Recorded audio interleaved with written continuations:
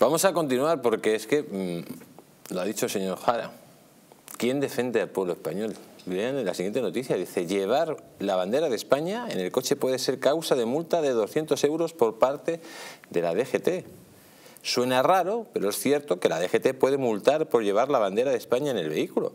Son muchos los accidentes que hay en las carreteras españolas por no cumplir los códigos de circulación o por no seguir correctamente las recomendaciones de la DGT.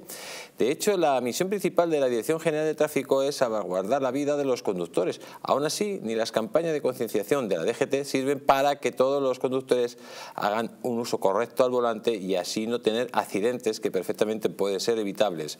En esta noticia explicamos en qué consiste este tipo de sanción. Dice, en el año 2022 hubo más de 1.100 personas fallecidas por accidente de tráfico en las carreteras, una cifra que deja eh, sin duda de ser eh, posiblemente unas cifras más altas de, Europa. Lo cierto es que la DGT cada vez toma más medidas con restricciones y sanciones absurdas o surrealistas y que no todos conocen. Un ejemplo de las multas de la DGT es llevar la bandera de España en el coche, que se suman a otras como no llevar camiseta, entre otras. La multa por llevar este icono simbólico de nuestro país en el coche lo han explicado ya varios conductores multados por agentes de la DGT. Dice, el hecho es que la multa esta no se recoge de manera específica en ningún lado, pero es una interpretación de un artículo del Código de Circulación. Pues esto ya es el colmo. O sea, está Pedro Sánchez hablando de la bandera LGTBI cuando su socio quema la bandera de España y ya para colmo, Sánchez, eh, que nos multen por llevar la bandera de España ya es el colmo, señor. El artículo, el artículo al que te refieres es el 19.1 del Código de Circulación que dice la superficie acristalada del vehículo deberá permitir, en todo caso, la visibilidad diáfana del conductor sobre toda la vía por la que circule sin interferencias de láminas o adhesivos. Esto eh, se hace extensible a los peluches, los cojines, las almohadas, eh, las etiquetas de la ITV que parece una colección de cromos en muchos cosas. Y eh, efectivamente yo creo que... El perrito ese que va diciendo que sí que...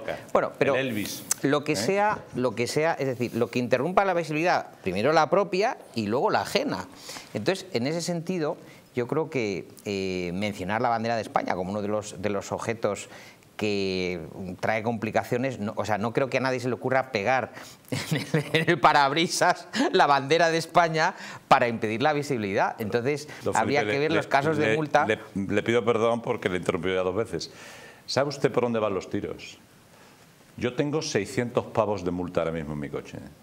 Porque llevo un rosario en el espejo retrovisor, en el espejo tal, y dos alturas de la Virgen del Pilar en mi vehículo que por supuesto son de la bandera de España. A esto se está refiriendo. Pero, pero no ser una Virgen del Pilar que vaya como copiloto de grande. Es, ah, pues. la, banderita que tiene la altura de la Virgen del Pilar, que son 42 centímetros, que no, que no están, o sea, no tapan la visibilidad, están reliados aquí y lo llevo ahí para que la Virgen del Pilar me ampare. Y ellos han dicho que tapan la visibilidad. Estas sanciones, que efectivamente, claro, están en la zona del parabrisas, ¿no? Por ahí van los tiros. Claro, mm, lógicamente eh, ahí puedes poner la bandera que quieras o el colgajo que quieras, ¿no? ¿eh? Pero muchos buenos españoles llevamos la altura que se llama de la Virgen del Pilar, que son 42 centímetros, que es lo que mide la Virgen. ¿eh? Entonces es una telita con la bandera de España, la hay en varios colores. Yo he tenido también en blanco y en azul y tal. Es eso. Entonces, claro, eso es una persecución encubierta. ¿no? Pero ¿cuál es la altura de la Virgen del Pilar? 42 centímetros. 42 es un trocito de tela. Y el código dice que así no. No, o sea, a ver, lógicamente lo puedes llevar de forma que te impide la visibilidad o como lo llevo yo, que no impide nada. ¿eh? Llevan ahí años. Yo tengo ahora mismo esos 600 euros. Llevo un rosario. Pues ¿eh? sí que te ha costado caro el, No, no, no me han sancionado, no. Ah, bueno. No, no, no pero que podrían hacerlo ah, con esta tesis que estábamos hablando. No, les despistas, por favor. Bueno, yo les, invito a hacerlo, porque lógicamente eh, lo íbamos a... Vamos, le pido el tip profesional. Dígame usted su número profesional, que voy a enterarme de a qué se dedica usted en sus ratos libres, señor guardia, ¿no?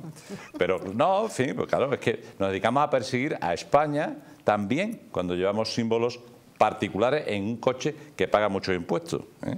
También estamos de acuerdo en que hay mucha gente muy cerda que tiene el coche que parece un carro de, yo qué sé, de un vendedor ambulante. Entonces, pero si hay gente que y de los que ponen, seis ITVs, que eso sí que te tapa la visibilidad. Y los seis pegatinas, sí, que una ristra ahí. eso no tapa la visibilidad, la ITV. os habéis encontrado a veces a, un copiloto con, los pies encima del parabrisas allí, pero bueno, ¿esto qué es? O sea, la gente que está, está zumbadísima. La, gente no sabe comportarse. No sabe comportarse. ponga usted orden. A ver, por favor. Ponga usted orden. De verdad.